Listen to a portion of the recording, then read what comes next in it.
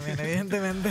Eh, veníamos hablando desde tempranito que eh, desde mañana a la tarde y hasta el martes se va a habilitar el Paseo del Bajo para los automóviles particulares. Estamos hablando de esa trama que une la autopista Buenos Aires-La Plata con la Ilia y que hasta ahora solamente se puede utilizar por el transporte pesado, colectivos y camiones. A mí me tienta mucho lo que va a hacer en este momento Lina Rodríguez, que es... Ramírez. Ramírez, por Dios. Bueno, lo que va a hacer Lina es lo que me tienta, eh, porque se va a subir a un auto y va a recorrer. Recorrer, vamos a recorrer con Lina.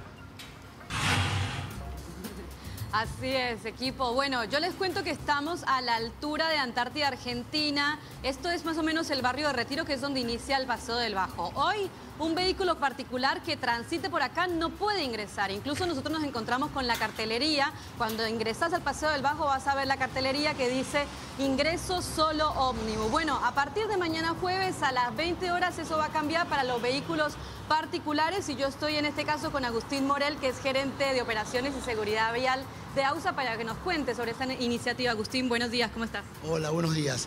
Bueno, ante todo, una pequeña corrección. El horario es a partir de hoy, miércoles, a las 22 hasta el miércoles que viene 3 a las 5 de la mañana. Ah, se amplió el En este caso, en esta oportunidad se abra para que lo puedan conocer el Paseo del Bajo y, digamos, va a ser gratuito durante este fin de semana.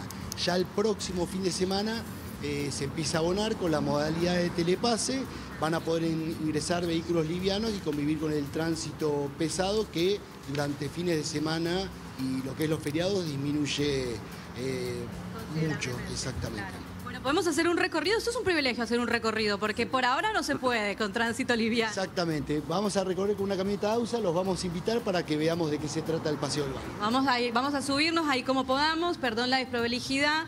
Va a estar con nosotros eh, Sebastián también, que es el que está manejando, Sebastián Rodríguez, que es jefe de seguridad vial de AUSA. A ver si Arturo puede ahí subir.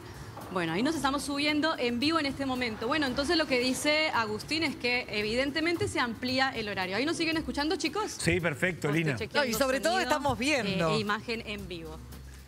Bien, estamos acomodándonos, cinturón de seguridad. Bueno, esto es uno de los ingresos. eh. ¿Es el principal ingreso al Paseo del Bajo? No, el principal ingreso desde norte hacia sur lo tenemos por el peaje Ilia Claro. y desde sur hacia norte desde la autopista Buenos Aires-La Plata o la autopista 25 de Mayo. A ver, vamos a... Esto es... eh, sí, No, no, no te quise interrumpir Sí, y, voy a tomar el tiempo en a ver cuánto tardan. No te quiero interrumpir. Virginia está muy no. entusiasmada, eh, tiene muchas ganas de hacer la prueba. Sí, sí, consideremos que igualmente estamos ingresando por el nudo retiro, que sería prácticamente a la mitad Claro. del Paseo del Bajo, pero bueno, más allá de poder ingresar tanto por la Ilia o por autopista 25 de Mayo o Buenos Aires-La Plata, también los usuarios van a poder ingresar eh, frente a la terminal de, óptimo- de ómnibus de retiro.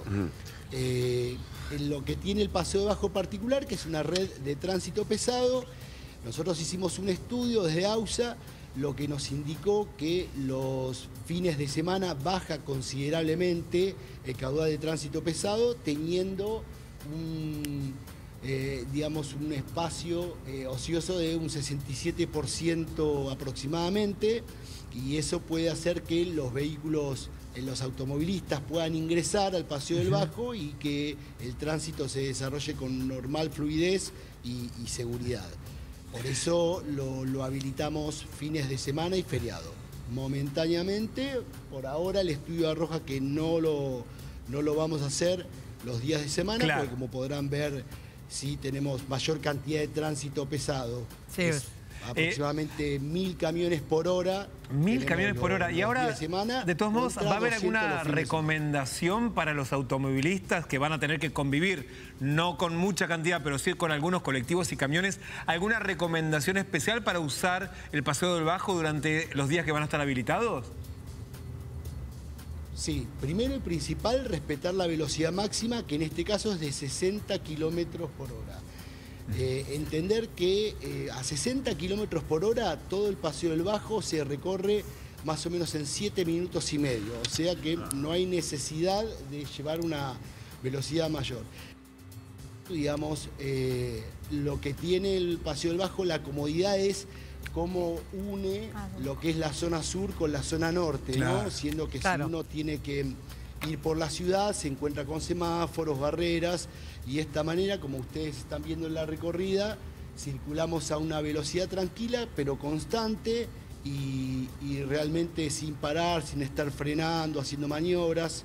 Es- Claro, en es fines, en en de semana normales, en fines de semana normales probablemente no se note tanto el beneficio porque se ahorra tiempo, pero probablemente tampoco tanto. Pero si uno quiere salir de la ciudad para ir, por ejemplo, a aprovechar el fin de semana largo, ir hacia el sur de la de Olivos a Mar del Plata en vez de ir por la General Paz. Ahí, ahí- claro. no, y no tenés que cruzarte la ciudad, Claro, ahí claro. te ahorras un montón, es súper práctico. Exactamente, exactamente. Sí, es una practicidad, digamos, mismo yendo, volviendo de la costa o viniendo de zona Claro. sur hacia comer a algún lado, que en zona norte.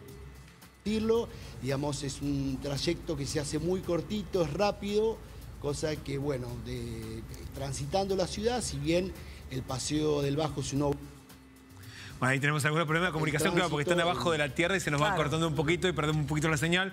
Pero la verdad es una experiencia genial. Va a estar muy bueno ver hoy a la tardecita Ver cómo, cómo se va eh, los, eh, la cantidad de automovilistas, porque recordemos, recién actualizaba el horario, no es a partir de mañana, sino hoy a las 22 ya va a estar disponible para utilizar el Paseo del Bajo para los automóviles particulares. Bueno, 3 minutos 30 el recorrido.